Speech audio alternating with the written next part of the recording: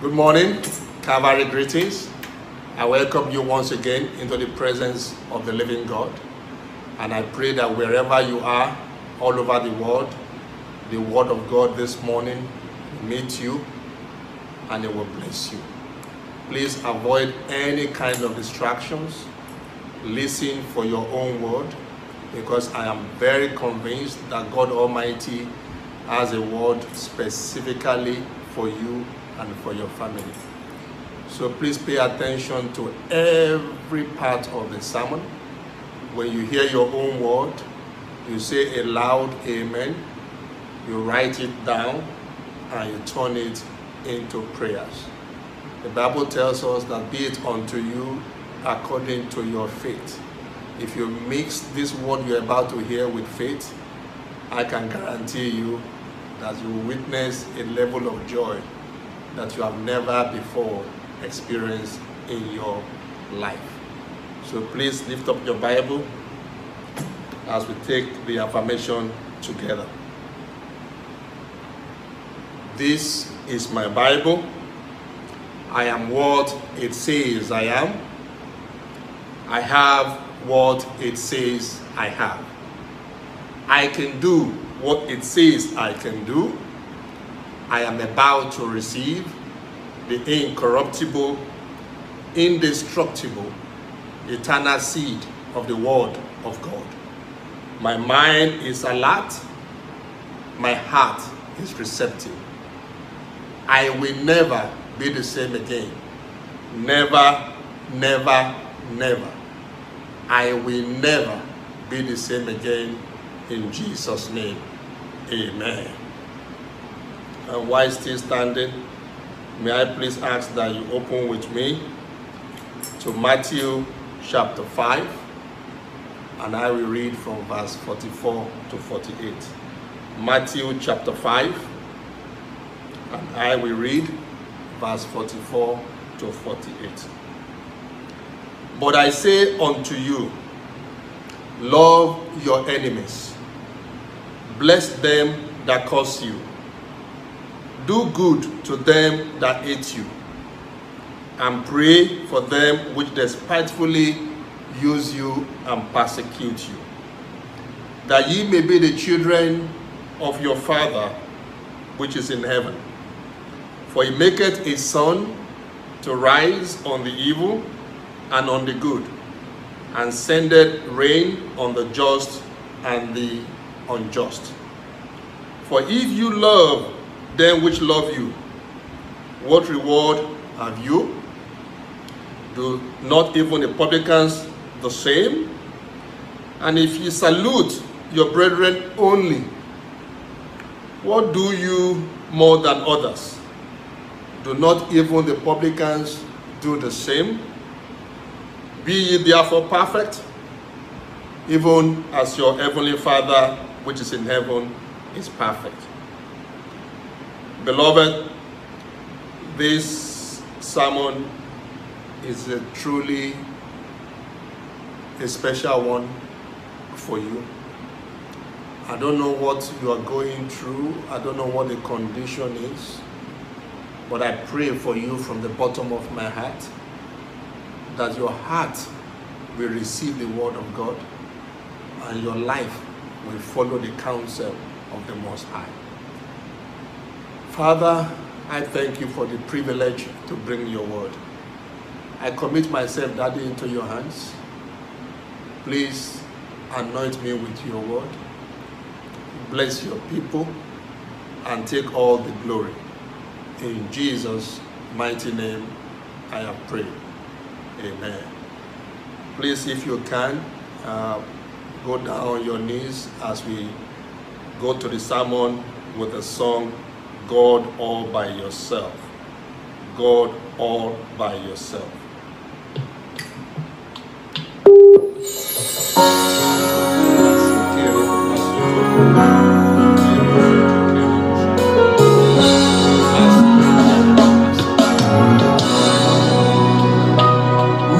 God, I bless your name.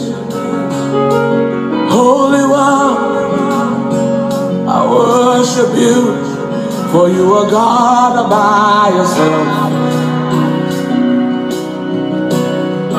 You are God all by yourself.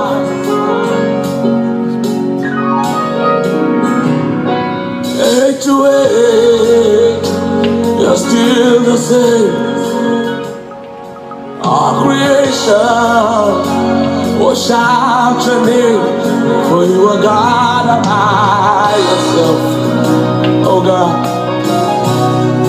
you are God by yourself. Oh, for who you are, I bless your name. Oh God, for who you are. I worship you, for you are God by yourself. Oh by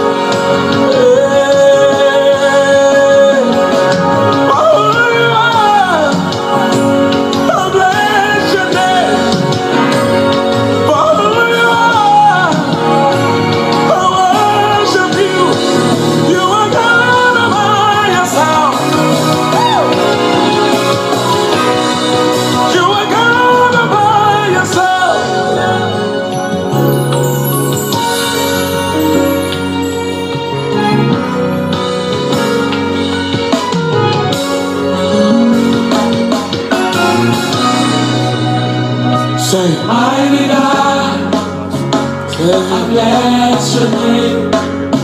Holy One, Holy One, I worship you. worship you. You are God. You are God. Nobody else like you. No compares to you. You are God all. Lift those hands wherever you are. Declare it. To age.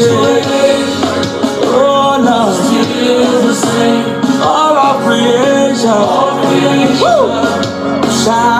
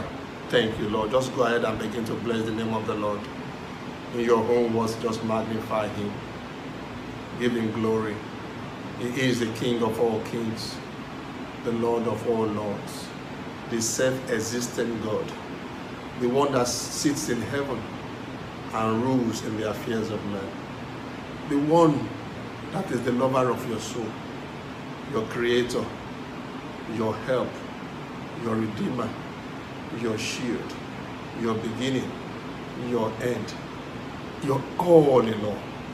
Magnify him this morning. Thank you, everlasting Father. Receive all the glory, Lord. In Jesus' mighty name, we have worshipped. Amen. Amen. God bless you. Please take your seat. The sermon is titled Unconditional Love. Unconditional Love. At this time in the world, millions of people have tested positive to coronavirus. But I believe this very moment, God is asking you if you are testing positive to unconditional love. It's a question that you need to ask yourself even as you listen to this word. Forget about coronavirus for the time being. Are you testing positive to unconditional love?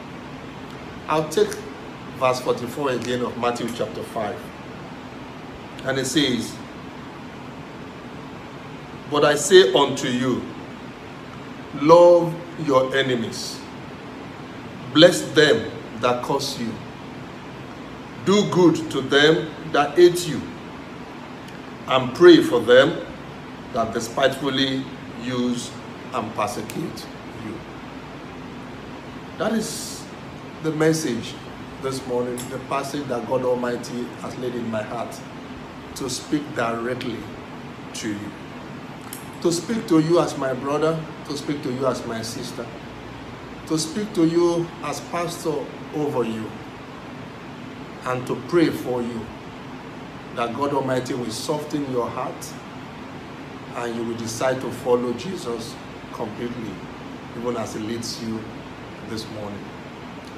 Unconditional love. Are you testing positive to unconditional love?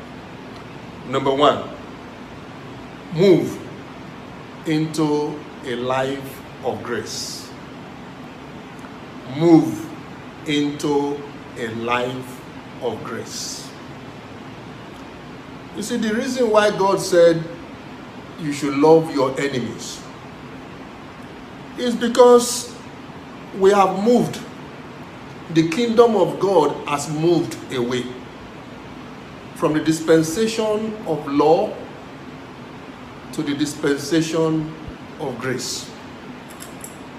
Before Jesus Christ came, we were under the dispensation of law and we are guided by the Ten Commandments that says, Thou shalt not, thou shalt not, thou shalt not, thou shalt not, thou shalt not, thou shalt not.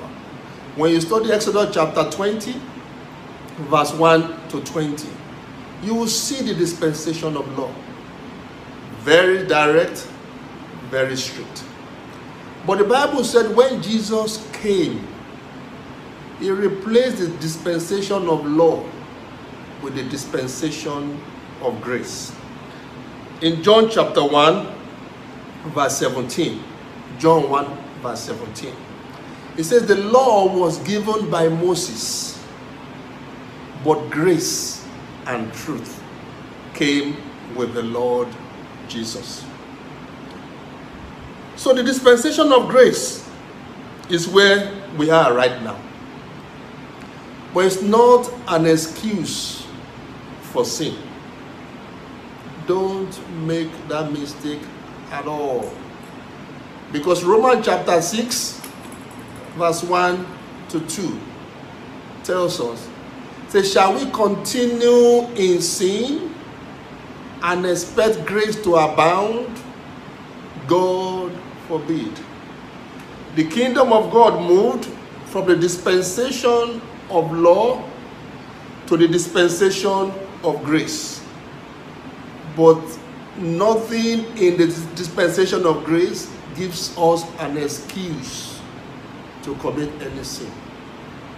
I will explain to you as the Holy Spirit guided me in the difference between the two. Matthew chapter 5, verse 38 to 39. Matthew 5, verse 38 to 39. And I'll read from here. Say, ye have heard that it had been said, an eye for an eye, and a tooth for a tooth. But I say unto you, that ye resist not evil. But whosoever shall smite thee on the right cheek, you turn to him the other also. That is a difference, one of the major differences between the dispensation of law and the dispensation of grace. Under the dispensation of law, it's an eye for an eye. Somebody smites you, you smite back. Somebody offends you, you retaliate. But under the dispensation of grace, when they hurt you, you take it without any quarrels.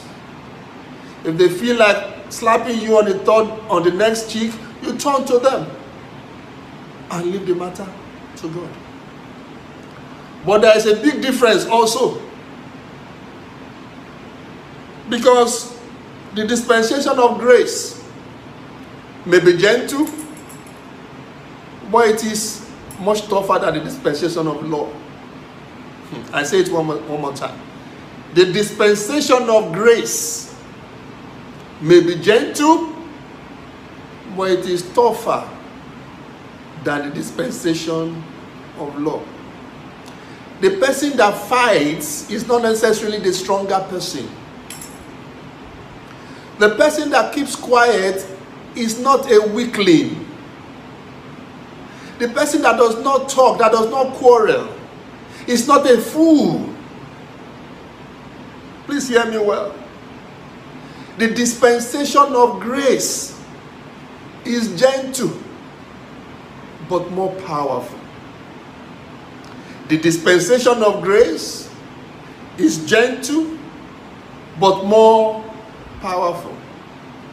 I remind you of the story that I've shared a few times before the story of the eagle, the mother eagle, and the baby eagle.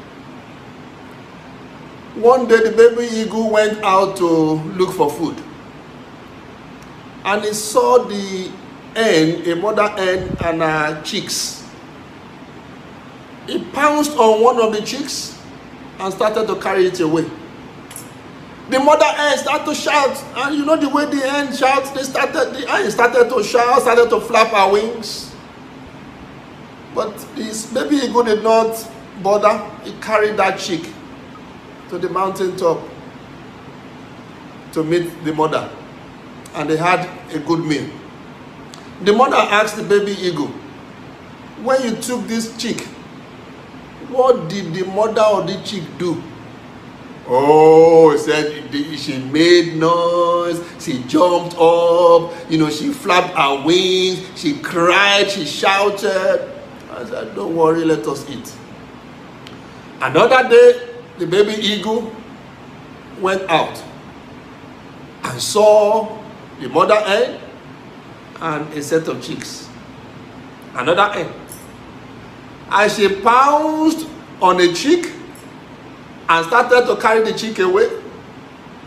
The mother hen just looked up and kept quiet.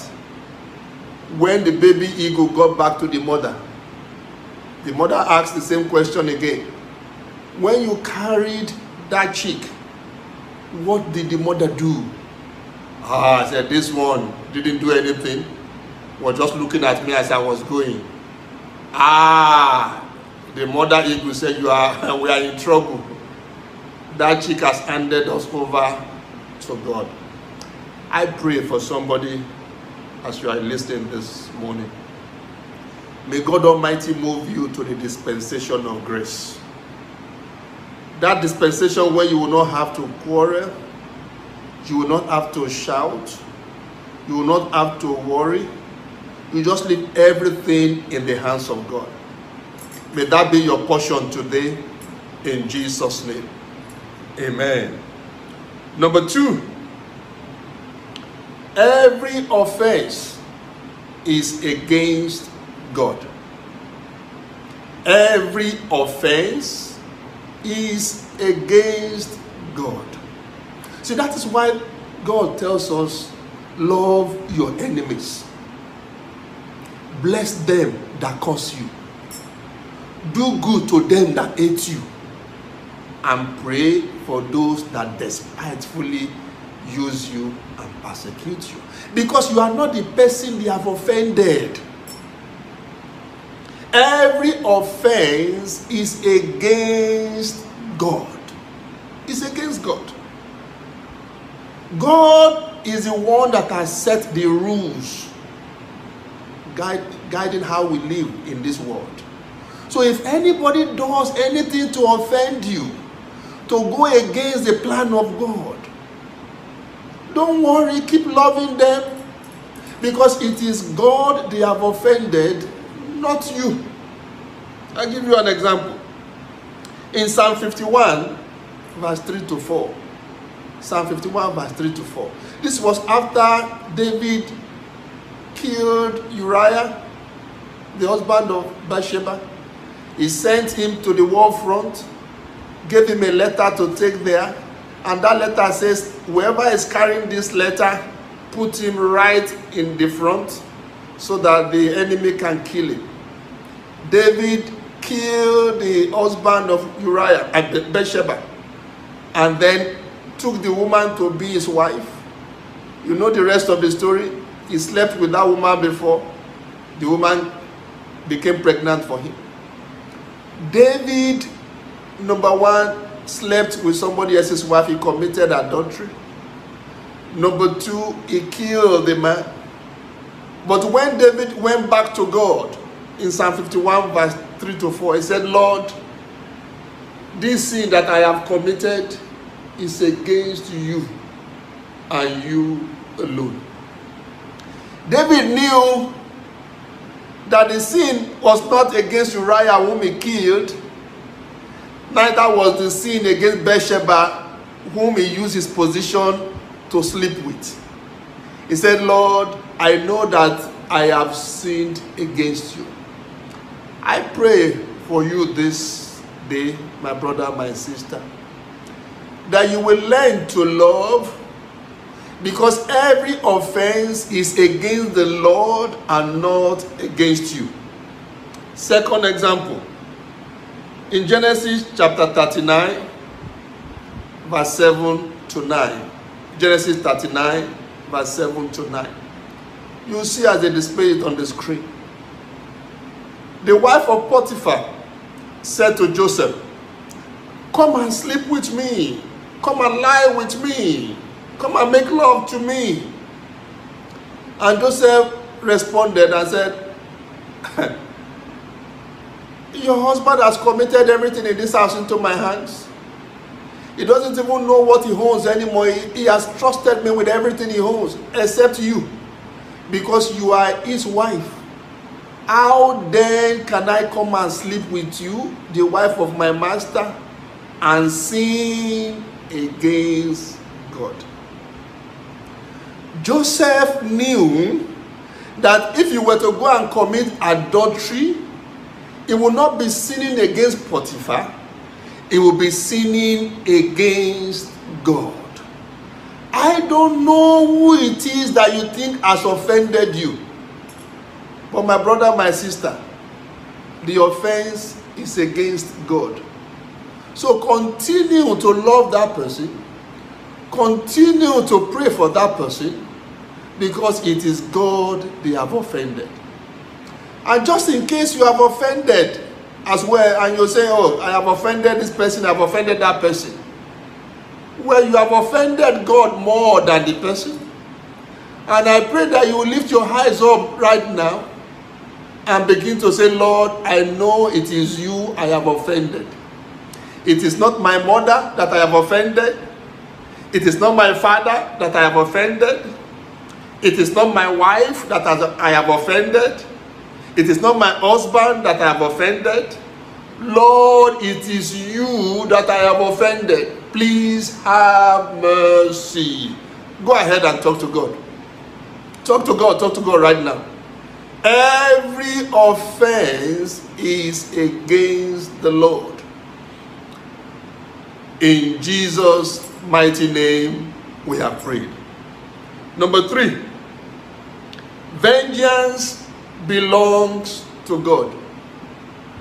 Vengeance belongs to God. You see, when the Bible says, Love your enemies, bless them that curse you, it's saying, in other words, why are you trying to get even? Why are you trying to hurt them back because they did something wrong against you? You are not the judge. Vengeance belongs to God Almighty. So, once again, I don't know who it is that has offended you or who it is that you have offended. But remember that it is God Almighty that will settle the case. Romans chapter 12, verse 19. Romans 12, verse 19. It says, Vengeance is mine, I will repay. That is the Lord telling you. Don't bother about retaliating. Don't bother about doing evil back. Leave the matter to me. Vengeance is mine, I will repay. What God is asking you to do is to continue to love. I don't know who it is that you are right now in some difficulty with, in some problem, in some quarrel, but the counsel of God for you is to continue to love, to continue to pray for that person, to continue to do good to that person, because God will settle the matter Himself he will give everybody according to their works. So if everybody, if somebody thinks is cheating you, just leave them alone. God Almighty will repay them for the evil that they have done. If you are cheating somebody, you are mistreating somebody, and you think you have gotten away with it, ah, may God have mercy on you. God Almighty Himself will be the one that will return the evil that you have done upon your head and upon your family. But I pray that shall not be your portion in Jesus' name.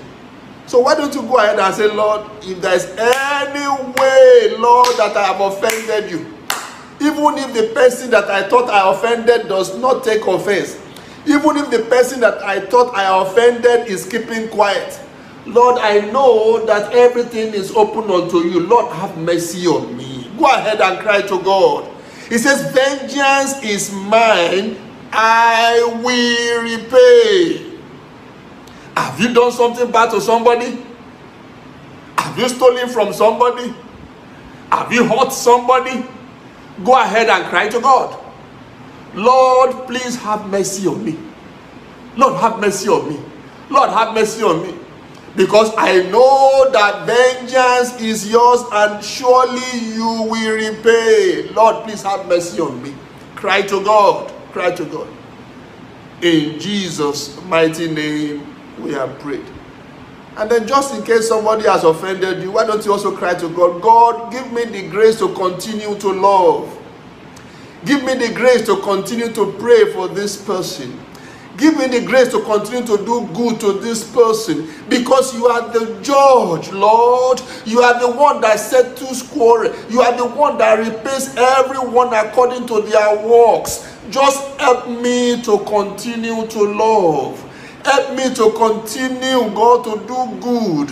Help me to continue, Father, to pray for this person. Help me to continue, Lord, to do what is right in your sight. Father, give me grace for unconditional love. Cry to God. Cry to God. Give me grace, Father, for unconditional love. Thank you, Father. In Jesus' mighty name, we are prayed. And then finally, number four. Come out from the crowd. Be different. Come out from the crowd and be different. You see, when God said, Love your enemies, pray for those that are doing evil towards you, it's because He wants you to be different from the rest of the people. And that's why He said in Matthew chapter 5, verse 45. Let's read it together. Matthew chapter 5, verse 45. says, that you may be the children of your Father which is in heaven. For he maketh his sun to rise on the evil and on the good, and he sends rain on the just and the unjust. He says, God is saying that He is your Father. And every morning when He makes the sun to rise, the sun rises on the evil as well as on the good. God does not differentiate. He says He makes His own sun, sun to rise on those that are good and on those that are bad. He says, when He sends His rain, He sends the rain everywhere. The wicked ones receive rain, the good ones receive rain. That is why He's called a God of everlasting mercy. So, what God is saying to you and I this morning is why don't you also be different? Because if you love only those who love you, then you are not different from the unbelievers. Look at verse 6, verse 46 and verse 47. For if you love them who love you, what reward do you have? For even the publicans, the unbelievers, they do the same. If you greet only people who greet you, what reward do you have? Even the unbelievers do the same. So God is speaking to you this day, my brother, my sister. Come out of the crowd and be different. That's a story that I heard recently. It blessed my soul. He said there is this woman who lives next to another woman, a very elderly woman, and then a middle middle-aged woman. The elderly woman somehow just dislikes this middle-aged woman. And then the middle-aged woman, every morning when he's going out, he will say, "Ah, Good morning, ma. God bless you, ma. The woman will ease, he will not answer. After a while, the middle-aged woman said, Okay, if this woman doesn't answer me, I will answer myself. So in the morning, she will go out when she sees the woman, ah, good morning, mommy. God bless you, ma. How are you, ma? Then she will respond, oh, it is well with you, my daughter. Go well. She is the one who is greeting. She is the one who is responding. Because she had decided to be different. I don't know what you are going through. But if you greet somebody and they don't answer, why don't you answer back? If you say, Good morning, my brother, and if it doesn't answer you, you say, Oh, good morning, my brother, to How are you? You answer yourself. Be different from the crowd. If you greet only those who greet you, how are you different from unbelievers? If you do good to only those who do good to you, how then are you a child of God? I pray for you from the bottom of my heart that this message will find a resting place in your soul and it will transform your life completely. In Jesus' mighty name, we are praying. Let me wrap up. Verse 48 of that Matthew chapter 5. It says, Do all these things so that you can be perfect, even as your heavenly Father in heaven is perfect. That is why this message, God asked me to bring this message to you so that you can begin to live like a Christian. You can begin to conduct yourself like your Father in heaven. Come out of the crowd and behave in a different way. Colossians chapter 1, verse 27. Colossians 1 27. It says, Christ in you, the hope of glory. So when people offend you and you strike back, where is the Christ in you? When people don't greet you and you to stop greeting them, where is the Christ in you, the hope of glory? My brother, my sister, that is the question God is asking you this morning. So I want to pray with you that may the power of God touch you wherever you are right now.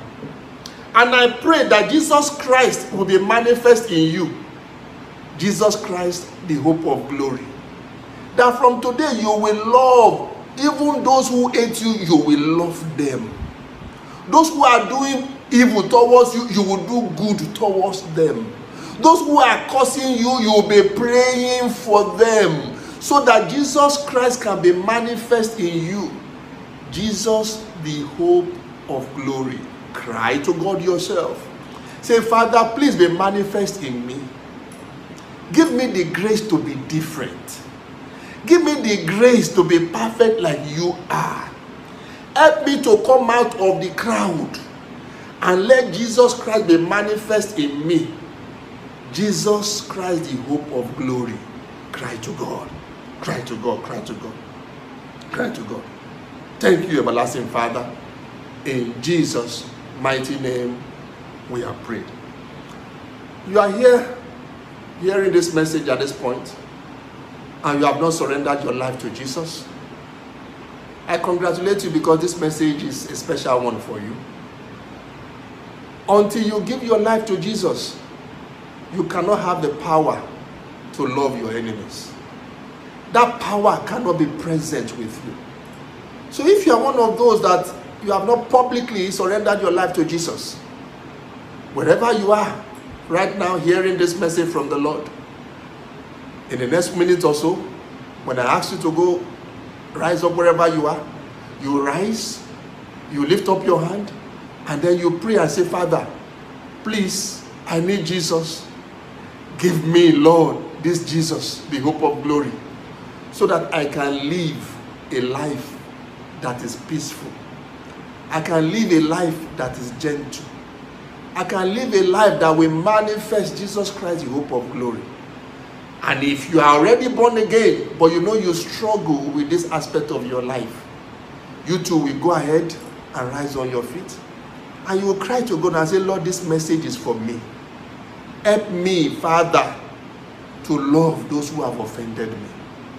Help me, Father, Lord, to know that all offense is against you, Lord, and not against me. Help me, Father, not to repay evil with evil, but rather help me to love everyone so that they can see in me Jesus Christ, the hope of glory. If that is you, you are going to talk to God and pray to God, even as we take this song, I have decided to follow Jesus. Ahead and talk to God. have decided to follow Jesus.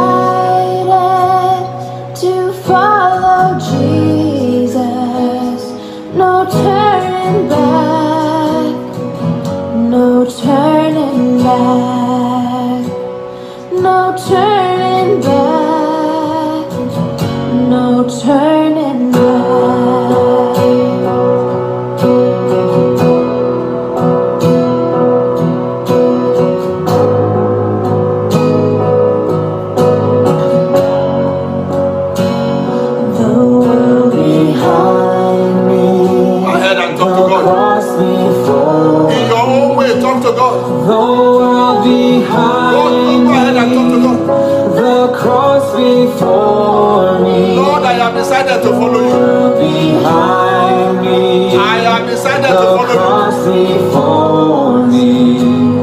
No turning back, no turning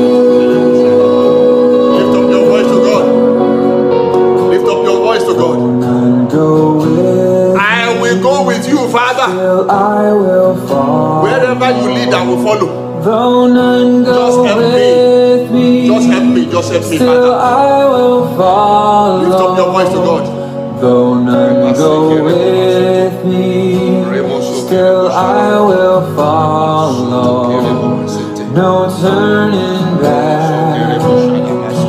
No turning back.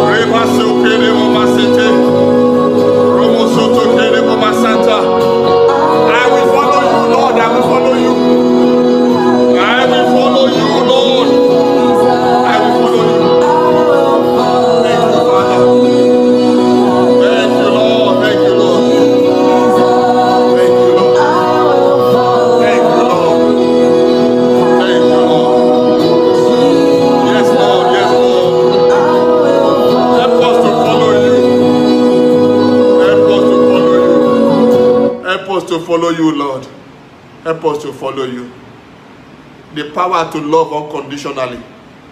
Give unto us, Father. In Jesus' mighty name, we have prayed. Amen.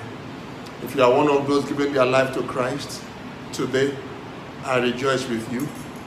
Please send us your name, send us your number to the email address, thelifegate at gmail.com, or you can also send us through our WhatsApp number that will be displayed on the screen for you. I can guarantee you we'll get in touch with you within the next 24 hours. We'll be praying with you, and we know that God Almighty Himself will perfect everything that concerns you. God bless you. Amen. Let somebody shout a loud hallelujah. Hallelujah. I hope you were blessed by that message. Unconditional love.